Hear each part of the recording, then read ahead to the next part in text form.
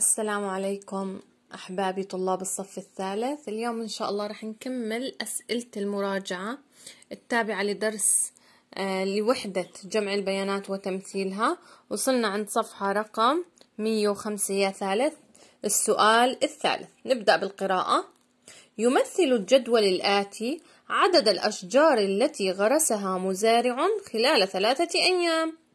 إذا في عنا مزارع غرس مجموعة من الأشجار خلال ثلاثة أيام السبت الأحد الاثنين. كم شجرة غرس يوم السبت؟ عشرين شجرة. يوم الأحد ثلاثين شجرة. الاثنين ستين شجرة. بحكي لنا أكمل اللوحة الآتية لأمثل البيانات بالصور ثم أجيب عن الأسئلة التي تليها. أول شغلة يا ثالث أنت وشو بدك تعمل؟ عامل لك جدول؟ أو لوحة بدك تمثله بالصور. طيب يا مس كيف بدي أعرف كل شجرة كم تعني؟ يعني آه كم عدد الأشجار اللي فيها؟ كل صورة كم تعني؟ كم شجرة؟ بتيجي أمي أول خطوة حكيت لك بتيجي على مفتاح اللوحة. بحكي لنا كل صورة شجرة ترسمها معناها عشر شجرات. الآن إذا كان عندي عشرين شجرة يوم السبت كم شجرة أرسم؟ برسم شجرتين. أحسنتم. ليش يا مس شجرتين؟ لأنه هاي الشجرة معناها عشرة وهاي الشجرة معناها عشرة. يوم السبت هو زرع عشرين يعني كل شجرة معناها عشرة عشرة وعشرة عشرين. طيب يوم الأحد زرع ثلاثين. كم شجرة نرسم يا ثالث؟ إذا كل شجرة معناها عشرة. أحسنتم برسم ثلاث شجرات. دروسنا هاي سهل كثير يا ثالث. طبعا أنت رسمك أحلى من رسم المس لأنها المس قاعدة بتصور وبترسم. طيب يا مس يوم الاثنين كم شجرة بدي أرسم؟ حاكين لي يوم الاثنين زرع ستين شجرة.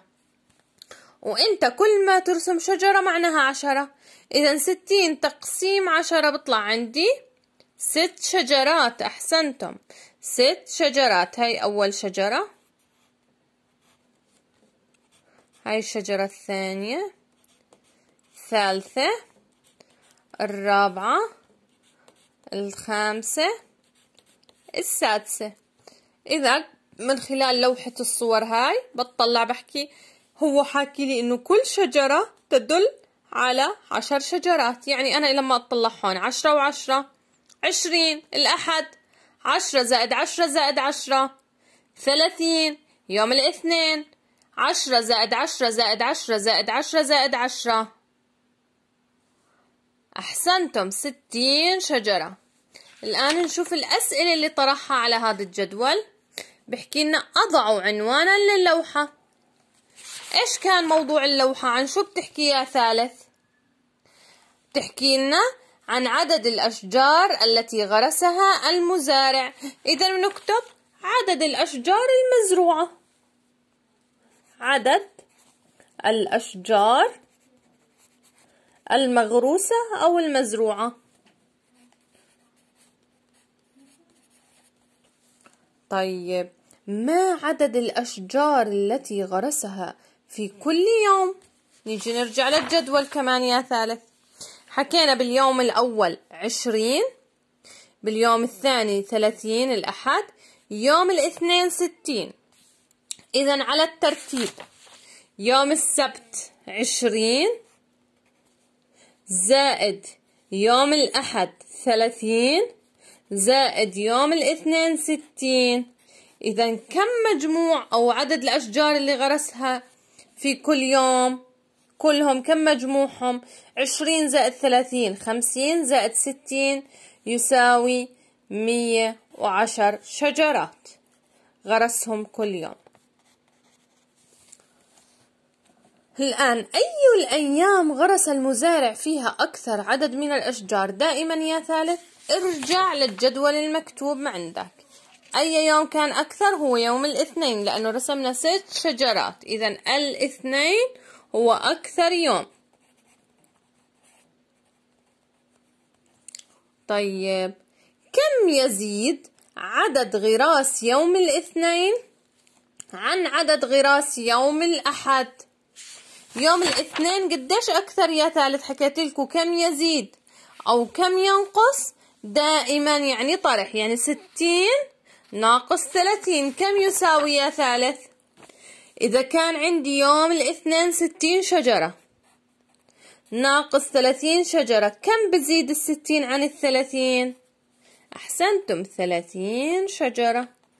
إذا يوم الاثنين زرع ثلاثين شجرة أكثر من يوم الأحد.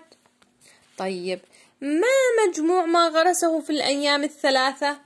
أنا جمعت لكم إياهم هون.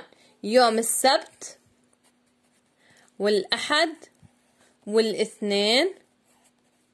جمعناهم فوق. حكينا السبت عشرين الأحد ثلاثين الاثنين ستين. بحكي عشرين زائد ثلاثين. زائد ستين كم يساوي يا ثالث؟ مية وعشر شجرات. في أحلى من هيك أسئلة يا ثالث؟ ما في. نيجي للسؤال رقم أربعة. يمثل الجدول الآتي عدد الألعاب التي باعها تاجر خلال أيام عيد الفطر. شاهد يا أمي باليوم الأول الثاني الثالث. اليوم الأول باع خمسة وخمسين لعبة اليوم الثاني خمسة وثلاثين اليوم الثالث عشرين لعبة. أكمل اللوحة الآتية لأمثل البيانات بالصور ثم أجيب عن الأسئلة التي تليها. بحكي لنا؟ بدك تكمل اللوحة هاي؟ عشان تقدر تجاوب على الأسئلة. الآن كيف بدي أعرف يا مس أعمل الصور؟ ما أنا ما بعرف كل صورة يعني كم لعبة. طيب يا مس ليش في مفتاح للوحة هيو تحت كل لعبة تدل على خمسة ألعاب. طيب يا مس إذا كان اليوم الأول خمسة وخمسين لعبة. يا أبطال الخمسة وخمسين كم خمسة فيهم؟ بدي أقسمهم على خمسة. مين بتذكر جدول ال 11 أحسنتم 11 لأنه 11 ضرب 5 55 صح؟ هاي اللي بتذكر معي جدول ل 11 إذا أنا راح أرسم 11 صورة للعبة. طيب يا مس أنا مش عارف مش عارف إنه كم آه خمسة بالخمسة وخمسين. عادي يا مس بلش أرسم تتخلص للخمسة وخمسين بدون ما تقسم. يعني هاي رسمنا اللعبة الأولى.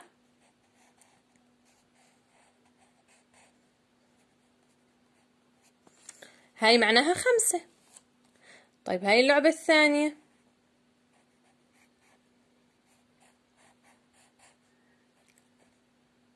هاي كمان خمسة. كم صاروا؟ عشرة. بضل أرسم لما أصل لعند الخمسة وخمسين. لأنه بحكي لي كل صورة لعبة معناها خمسة.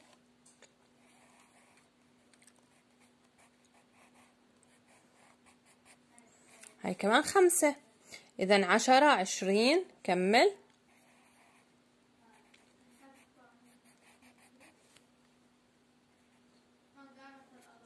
هاي خمسة. هاي كمان خمسة. هاي كمان خمسة يا ثالث.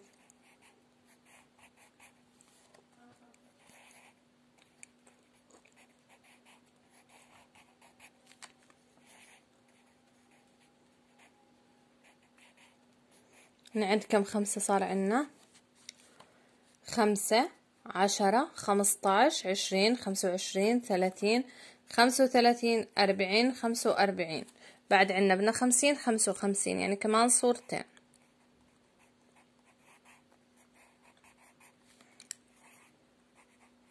شفتوا يا ثالث؟ ما في أسهل من هيك يا مس. إذا باليوم الأول رسمنا كم صورة لعبة؟ رسمنا 11 لعبة يعني 55 لعبة باع باليوم الأول. طيب باليوم الثاني يا ثالث؟ أنا شايف 35 طب يا مس كيف بدي أمثل؟ إذا حكيت لك يا مس إنه كل صورة معناها خمسة. الخمسة وثلاثين كم خمسة فيها؟ يعني إيش اللي بضربه خمسة بعطيني خمسة وثلاثين. أحسنتم سبعة يعني بدي أرسم سبع صور. طيب نعد مع المس. واحد. أنت رح ترسم أحلى مني طبعا يا ثالث. اثنين. ثلاث. أربعة.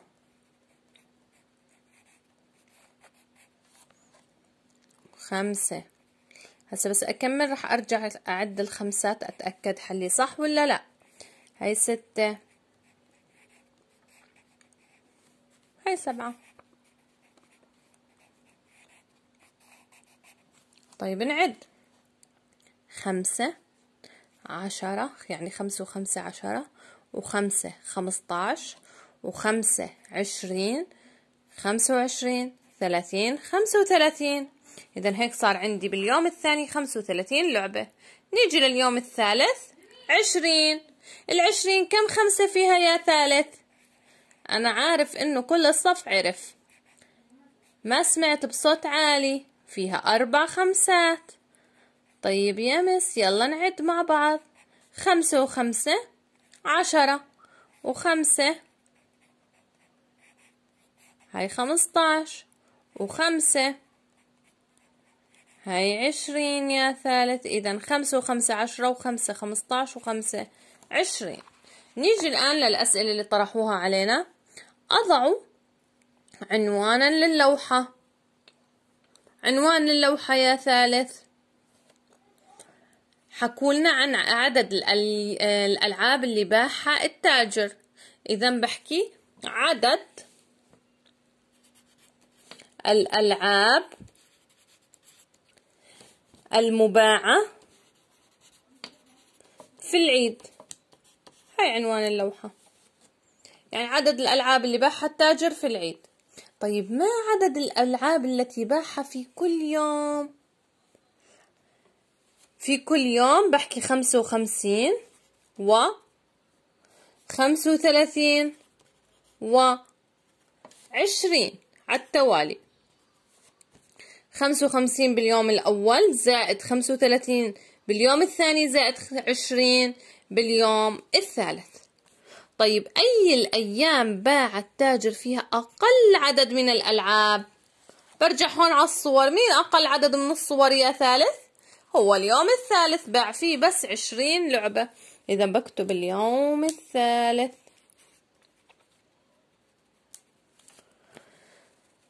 دال كم ينقص عدد ألعاب اليوم الثالث عن عدد ألعاب اليوم الأول؟ كم ينقص عدد ألعاب اليوم الثالث عن اليوم الأول؟ حكينا اليوم الأول خمسة وخمسين لعبة. ناقص حكينا دايما ينقص أو يزيد معناها هاي طرح على طول بنقص. ناقص اليوم الثالث عشرين. خمسة, وخمسين ناقص عشرين بنقص الآحاد من الآحاد بحكي خمسة ناقص صفر خمسة. وخمسة ناقص اثنين ثلاث. إذا كم ينقص؟ عدد ألعاب في اليوم الثالث بنقص خمسة وثلاثين لعبة. يا ثالث. ما مجموع ما باعه في اليومين الأول والثاني؟ اليوم الأول حكينا خمسة وخمسين والثاني خمسة وثلاثين. بحكي خمسة وخمسين زائد خمسة وثلاثين. يلا نجمع. نتذكر الجمع مع المس. خمسة زائد خمسة كم يساوي عشرة؟ صفر وباليد واحد. واحد وخمسة ستة وثلاث تسعة. إذا مجموعه تسعين لعبة. هيك يا ثالث بنكون أنهينا المراجعة التابعة لوحدة تمثيل البيانات. الآن يا أمي آه لازم تحل الأسئلة اللي حليناها. يا ريت تعتمد على نفسك وإن شاء الله الحصة الجاي رح نكمل عالدوسية يا ثالث. يعطيكم ألف عافية.